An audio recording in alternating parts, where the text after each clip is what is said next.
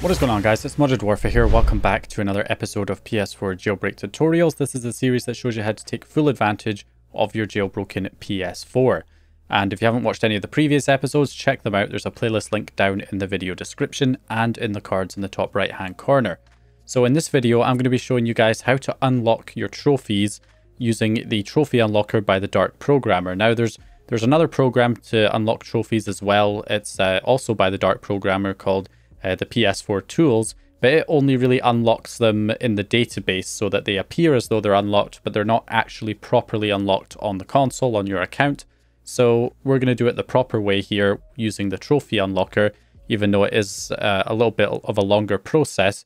And I'll also show you guys how to fix the timestamps as well, because when you unlock the trophies using this tool, uh, there is no timestamp of when you actually unlocked it. So there is a little script that fixes that in the database as well. So I'll show you guys that here in this video. Now I did cover unlocking trophies in a previous video not too long ago, but that was the early version of the trophy unlocker, which had a lot of extra steps that have now been eliminated in the, in the newer versions.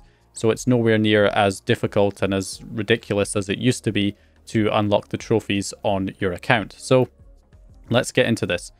So the first thing you need to do to unlock your trophies is we're going to need to use FTP on the PS4, which means you need to be connected to, to your network on your PS4, and then you can head on to your internet browser, load up your exploit host, whichever one you're using.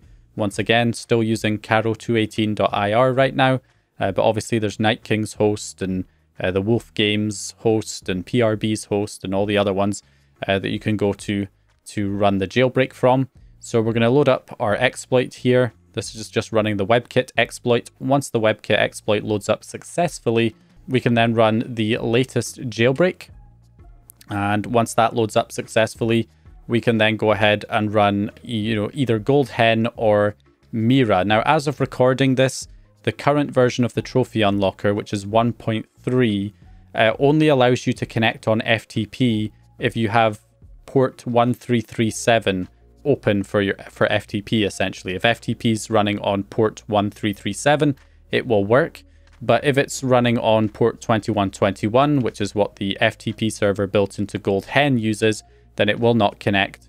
Um, or if you're trying to use the FTP built into the PS4 Explorer app, which uses port 21, it won't work either. It will only work on FTPs that use port 1337. So you can run the general FTP payload down here. Obviously run Mira first or GoldHEN first just to be able to run the jailbreak and you know run your debug settings, run your fake package files. You'll need to run that first. Then you can either run the FTP payload to get the normal FTP on 1337 or you can run this homebrew app Orbis FTP which also runs an FTP server on your PS4 so when you run that, it'll run it, but it also runs it on port 1337. Now, um, by the time you're watching this video, the Dark Programmer may have released version 1.4, in which he said he would actually fix that issue so you can just type in the port number and then it doesn't matter which FTP server you use. Any FTP server will work. You just put the port number in manually on the tool. Um, but for 1.3, it has to be an FTP on port 1337. So Anyway, once you have an FTP server running on port 1337, we can go ahead and switch over to our computer. And on the computer, you're going to download the latest version of the Trophy Unlocker, whichever one that is. Download it right here. I'll have it linked in the description, as well as the Trophy Timestamp Fixer to fix the timestamps. You want to just download the exe right here. And you'll also, for that to work, you need Python installed as well. So make sure you have Python version 3 installed uh, in order to be able to run the timestamp fixer. And it's just a basic setup installer, download it, click next a bunch of times and finish, and then you'll have Python installed. So once you have that, you are good to go. So we'll open up the trophy unlocker zip file. We'll create a new folder here called unlocker. And we'll just go ahead and select all of the files and dump them into that folder. Then we're going to run the unlocker and run the unlocker here. So when you run the unlocker, you'll get the PS4 FTP. So you just want to enter the IP address of your PS4 here, the same IP address that pops up in the message box in the little notification uh, when you run your FTP payload or FTP app. So we're going to go ahead and type that IP address in. And of course, if you're using a newer version, you may also have a box to enter the port number, in which case just enter the port number. Uh, it's either going to be 2121 if you're using GoldHEN, or it's going to be 21 uh, if you're using the PS4 Explorer app, and it's going to be 1337 if you're using the any of the other FTP apps. So once you've got that entered, you can then click connect and that will download all the relevant data. And then as you can see, it gives you the different uh, games that are currently installed on your PS4. And what you're gonna, what this actually does is it doesn't unlock the trophies right here. What it does is it creates a homebrew app based on the trophy data for that game. And then you then run that homebrew app on your PS4, which is an unlocker app that then allows you to unlock all the trophies. Bit of a kind of weird way it works, but that's just the way it works. So um, all we're going to do is we're going to select a game like Days Gone or maybe, I don't know, Ghost of Tsushima. And we'll go ahead and build an unlocker for Ghost of Tsushima. So we just click Build Unlocker and we select an output location. So I'll select my desktop. So that creates the unlocker package there for uh, Ghost of Tsushima. And then I can delete the GP4 file once the package file is built. And there it is. So now that we have that, we are pretty much good to go. Now, another thing you can do is you can actually create an unlocker app for a game that you don't even have installed on the PS4 yet. All you need to do in order to do that is have a package file. Uh, as you can see, I've got Skyrim here. Uh, so let's say I wanted to unlock trophies for Skyrim, even though I don't have Skyrim installed on my PS4 right now. Then all I have to do is go into the settings menu and change the application type from FTP to package and click save close, and now I have the option to browse for a package file. So I can browse for this uh, package file. So I'll select Skyrim right here, click open, and it adds it in right here, and then I can build an unlocker for Skyrim in the same way. And there you go. As you can see, it builds the unlocker for Skyrim. Now, one thing that's important when you're doing a package file like this is that you want to make sure that if you have any game updates as a package file, then you want to pick that to build the unlocker from. Pick the update package file to build the unlocker from rather than the game package. So if I do this again, so as an example, I've got Fallout 4 here. If I wanted to build an unlocker for Fallout 4, I could just do the normal package file, the game package file, but I also have the update version 1.20 as well. So I would actually rather select the update to build the unlocker because the update will have any additional trophies that were added in DLC uh, available to unlock. So if you just load the normal game in there and build the unlocker from that, it will not include any trophies for any DLC. Whereas if you include a new update, then it will also include any DLC up to that up up to when that update was released in the actual uh, trophy unlocker. So you'll be able to unlock your trophies for your DLC as well as the base game as well. So just keep that in mind if, if you have any updates that you can build the trophy unlocker from instead. So now we have the unlocker files. All we need to do is put them on a USB drive. So make sure it's a USB drive that's formatted in exFAT or FAT32 format. And then you can go ahead and eject the drive and plug it into your PS4. Okay, so once you're on the PS4, as long as you're running Hen or Mira, you'll be able to go into the debug settings and go to Game Package Installer and you can't install both of these packages at the same time. They conflict with each other. So we'll just install, um, let's do Skyrim first. So we'll select Skyrim and unlock all the trophies for Skyrim. Or just one or two, for example. So there we go, it's ready to use. So once it's ready to use, we can go back and we now have the unlocker for Skyrim available. So we can run this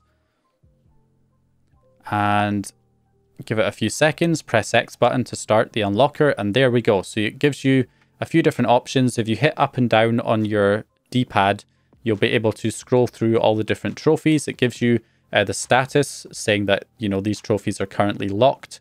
It also gives you the title uh, of what the trophy is and the description of the trophy. So if you're only looking to unlock a specific trophy, then you can just, um, you know, scroll through and, you know, search up online what, what the name of the trophy is that you want to unlock and then just search for it here by scrolling through until you find it. So once we find a trophy we want to unlock, like this one right here, we just select X to unlock it. And there you go. The trophy is unlocked. It's as easy as that. Um, so yeah, up and down to select the trophy, X to unlock, circle to go back. And obviously there's also a unlock all option as well. If you hit the options button, it will start going through and unlocking all of the trophies. We won't do that just yet. Uh, another option is triangle will show the trophy list. So if you hit triangle, it will take you to the trophies. If you get this error message, it's probably because your account is activated. If you have an activated account, you'll have to click OK to this message and then go to view trophy information saved on PS4. And then it will actually take you to the trophies. So as you can see, if we scroll down here, we should have one available. There it is. War Hero unlocked, as you can see. So that one works absolutely fine. Uh, so let's go ahead and close the application here and try the other one. So if we delete this one and we go back to uh, settings and we go down to debug settings, game package installer, and we will install the Ghost of Tsushima package file. Remember, this one was built uh, from the actual uh, data that was already installed on the PS4. Uh, whereas the Skyrim one, we don't even have Skyrim installed and we were able to unlock the trophies for it. Whereas with this one, we already have Ghost of Tsushima installed. So we built this one through FTP and uh, we'll go ahead and run it here. And as you can see, it, it works in exactly the same way for every game. So there's all the different trophies, all the ones that are locked. For some reason on this game, some of them don't show the title or description. I don't know, that's some kind of bug or something, but um, you know, for whatever reason, certain ones are hidden. Um, and we are good to go. So if you want to unlock all the trophies, let's just do all the trophies for this one. We'll hit the options button. And when I hit the options button, it takes a few seconds because, um, I don't know, I guess the command to unlock them all takes a while. But as you can see, the trophy, as you can see, the trophies start popping up one after the other once you've unlocked them all. If we hit triangle, that will take us out and we can go back and have a look at those trophies saved on PS4 and give it some time. There we go. As you can see, Ghost of Tsushima fully unlocked and it includes all any DLC as well. Um, I'm not sure if that is DLC actually. That could just be something that was already installed as part of it. I'm, I'm not 100% sure if that's DLC or not. Um, if it is, then great. It looks like it's some kind of add-on. Um, so yeah, I, I, must have had a patch installed maybe, and it's installed the updates. It's unlocked the trophies for the updates as well. Whereas if you just had the base game, it would only do uh, the base game trophies and none of the other ones. But as you can see, everything is unlocked right here. The only main issue, obviously, is the uh, timestamps. So as you can see, the timestamps have not been changed for any of these trophies. So what we need to do is fix the timestamps. So let me show you guys right now how you do that. So if we go back to right here, we can go ahead and close out of this now. Um, so one of the things is even though these notifications are still popping up, you can still close the application. It has unlocked all the trophies. It's just these notifications are delayed. So yeah, now we can switch back over to the computer and try and fix the timestamps. So to fix the timestamps, we're going to use this trophy timestamp fixer. Again, we need to have Python version 3 installed in order for this to work. And we also need to run our FTP again. I think mine's still running, so I'm going to go on to FileZilla and type in my IP address uh, of the PS4 into the host box, enter my port number 1337, connect. And once we're connected, we're then going to go to the user folder and then we're going to go to the home folder, then select your profile folder. So each folder here represents a profile. So I'm just going to select the top one, which is my main profile. So I'm going to select that, then go into trophy folder, then go to DB, and then you have trophy local DB. So we're going to copy that over to our computer. And okay, good. It did not did not end up on the other monitor. That's nice. Okay, so now that that's copied over, we can then run the trophy timestamp fixer. Click run and then select the DB, select the database. So I'm going to select the file, click open. And as you can see, when I select it, trophy local DB, you can see it fixes all of the rows right there. We can click close and that's it done. All you have to do is copy that back over, although I would recommend making a backup of it uh, so let me just throw a backup here into a new folder, just in case it doesn't work. You want to have a backup you can restore in case it corrupts the database or something. It's unlikely, but it could happen. So we'll go ahead and throw the database file back on. And that should be it. So if we go back onto our PS4 now, as you can see, the trophies are still popping up. So if we go back into our trophies and we have a look at the trophy information saved on PS4, Ghost of Tsushima, as you can see, all the dates are now showing up. So we've got, uh, you know, 20 slash 8 2021.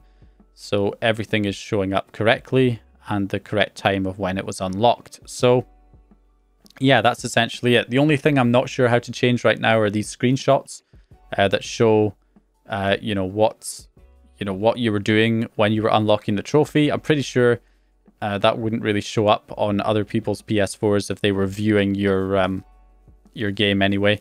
Uh, if they were comparing their trophies or whatever to yours. Obviously, this is offline because we can't even connect to PSN in the first place. But if you were to like update your PS4 sometime in the future to the latest firmware, and somebody looked at your trophy, um, I'm not sure if it would actually show these screenshots or not. I don't think it does, but uh, I don't know. I could be wrong, but it seems unlikely that it would show it. So yeah, anyway, that's basically it though. That is how you unlock trophies on a jailbroken PS4. Once you're done with the trophy apps, you can just delete them once you have your trophies unlocked and you are all good to go. So it's a bit kind of a convoluted set setup to unlock trophies. Um, but generally, it's a lot better than the older version of the same app, which required you to like dump your game and stuff like that, which was um, a bit overkill. Turns out that wasn't required, so these new updates make this a lot easier. You can build an unlocker app through FTP for, from games that are already installed on your PS4, or you can take a package file, a fake package file you download, and you can build a trophy unlocker for that and unlock those trophies on your PS4 without ever even having the game on your PS4 at all. So yeah, anyway, that's it for this video. Hope you guys enjoyed it or found the information useful. If you did, please leave a like and subscribe, and I'll hopefully see you guys in the next video.